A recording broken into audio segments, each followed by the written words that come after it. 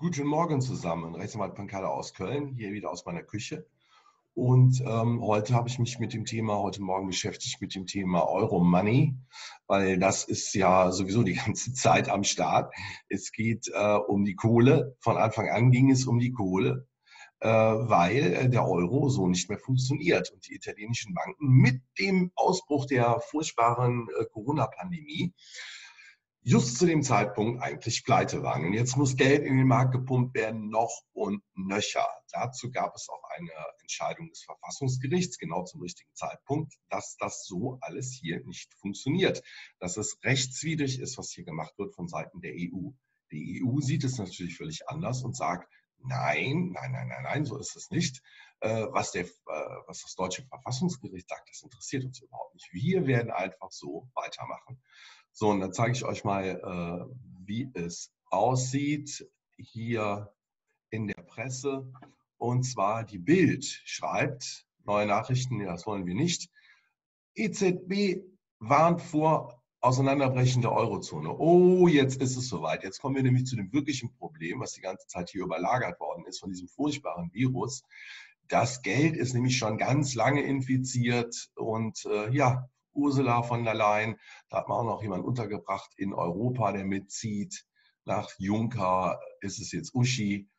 Äh, Streit an den Euro angesichts Mega-Rettungspaket, äh, das die EU derzeit plant, steigt das Risiko eines Horrorszenarios. Davor warnt jetzt sogar die Europäische Zentralbank.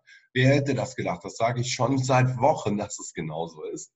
So, und natürlich sehr, äh, sehr geschickt äh, soll auch keiner lesen, deswegen hier Bezahlschranke. Immer wenn es wichtig wird, gibt es die Bezahlschranke bei der Bild. Kann dann natürlich keiner lesen, außer machst ein Bild-Abo. Da habe ich keinen Bock drauf. Ja, äh, es wird hier auch weiter diskutiert in anderen Medien. Äh, whatever it takes Urteil. Ja, also äh, Lagarde sagt ja, whatever it takes. Ich pumpe immer mehr Kohle in den Markt rein.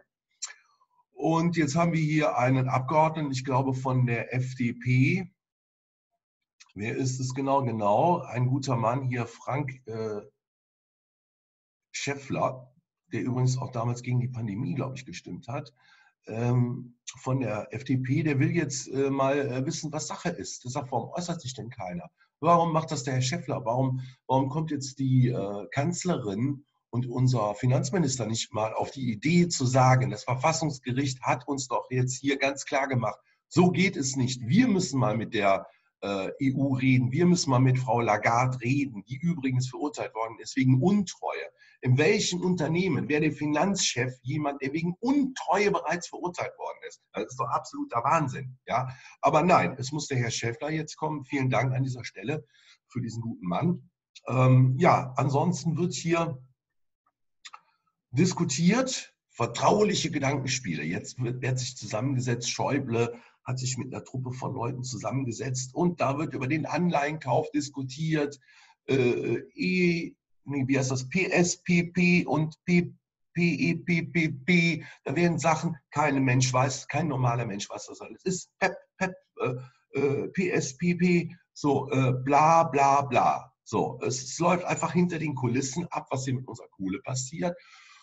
Und die wollen jetzt beraten und haben da auch schon den juristischen Dienst vom Bundestag befragt, wie können wir es irgendwie deichseln, wir legen das jetzt zusammen und dann ist es dann doch nicht so, aber das darf auch nicht von uns kommen, das muss von Brüssel kommen, das stecken wir denen dann und die bringen das dann rein, weil die Verhältnismäßigkeit stimmt ja nicht mehr mit diesen Anleihenkäufen und auch diese, diese 750 Milliarden, die jetzt in den Markt gepumpt werden sollen. Oh, oh, oh, da ist richtig die Scheiße am Dampfen, Freunde, so und es wird mal wieder auch nicht vernünftig darüber berichtet.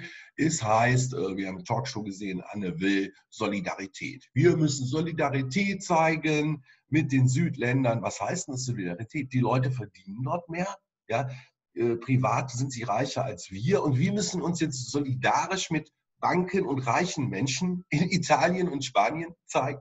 Das müssen wir das ist äh, Solidarität, äh, sehe ich immer so äh, mit, mit Leuten, die vielleicht weniger Geld haben. Mit denen bin ich solidarisch, aber nicht mit Leuten, die nur ihre Knete haben wollen, die nichts sparen, die nichts einbringen, denen die Kohle rüber schicken. Das hat doch nichts mit Solidarität zu tun.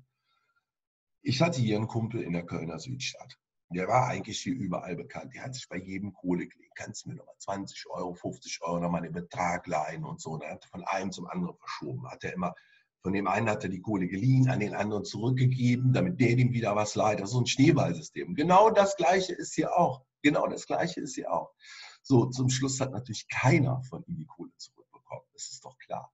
Als ich das rumgesprochen hatte, dass der die Kohle nur verbrät, nur versäuft, so, da hat ihm irgendwann keiner mehr was gegeben. Aber das hat lange gedauert. Das hat sehr, sehr lange gedauert, bis die Leute es kapiert haben. Wenn du einem Pleitegeier Kohle gibst, ja, ähm, dann kriegst du es nie zurück. So ist es einfach.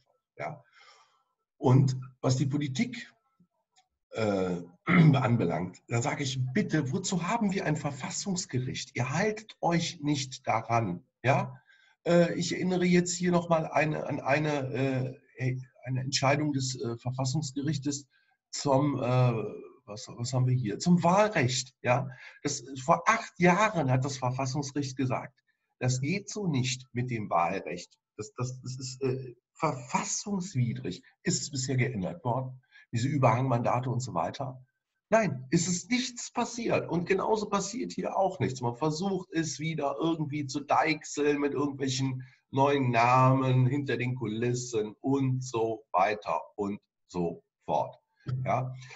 Ähm, ich kann das zum Thema Geld nicht ganz so gut erklären. Ich habe da einen Abgeordneten gefunden, da habe ich heute auch in seinem Büro angerufen und äh, was gefragt. Aber jetzt hier der Herr Böhringer, äh, der kann es auch noch weitaus besser erklären, warum das alles so nicht geht und, und was daran so schlimm ist. Ich lasse es hier mal kurz abspielen.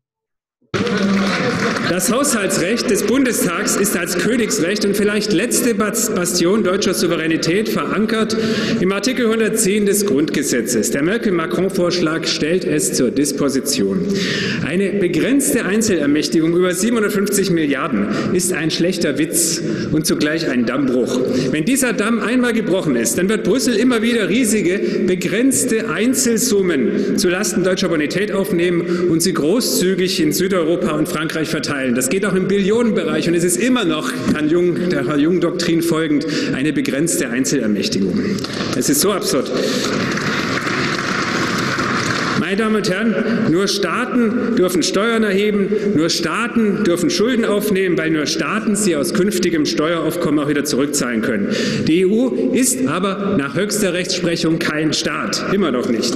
Und sie darf gemäß Lissabon-Urteil des Verfassungsgerichts von 2009 ohne Volksabstimmung über eine Aufgabe der deutschen Staatlichkeit auch niemals einer werden. Dieses Referendum aber wird den Deutschen seit Jahren und Jahrzehnten vorenthalten.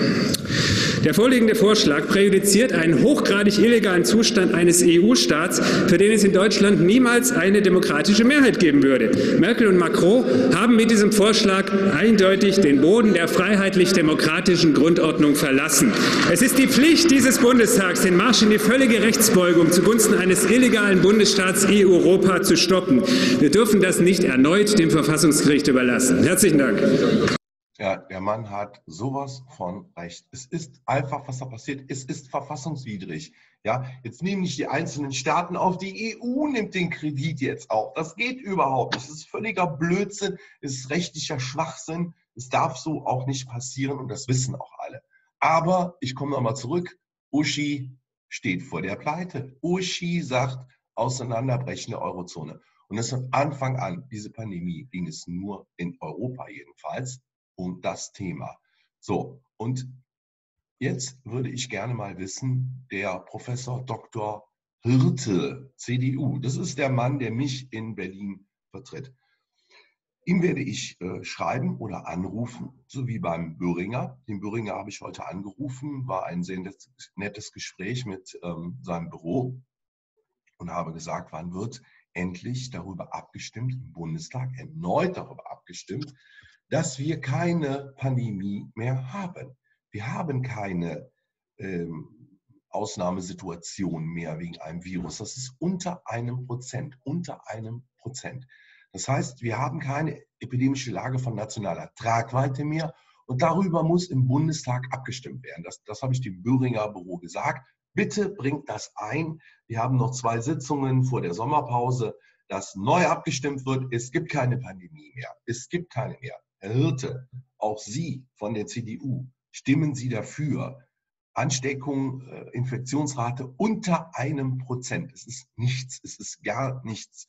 Wir wollen diese Grundrechtseinschränkungen hier nicht mehr haben, weil keine Pandemie mehr besteht. Darüber muss neu abgestimmt werden. Ich werde dem ähm, Hirte auch noch anrufen. Ich halte auch euch auf dem Laufenden, was ähm, Böhringer dazu gesagt hat.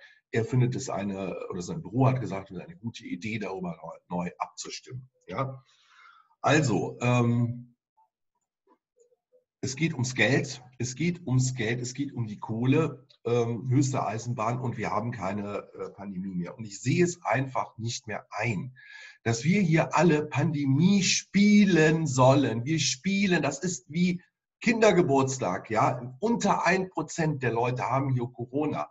Es sterben relativ wenig an Corona. Trotzdem müssen wir alle mit der Maske in den Supermarkt gehen. Trotzdem sind unsere Grundgesetze weiter eingeschränkt. Was soll das? Ich will keine Pandemie mehr spielen für euch. Hört auf mit der Scheiße, stellt im Bundestag fest, dass wir keine epidemische Lage von nationaler Tragweite mehr haben.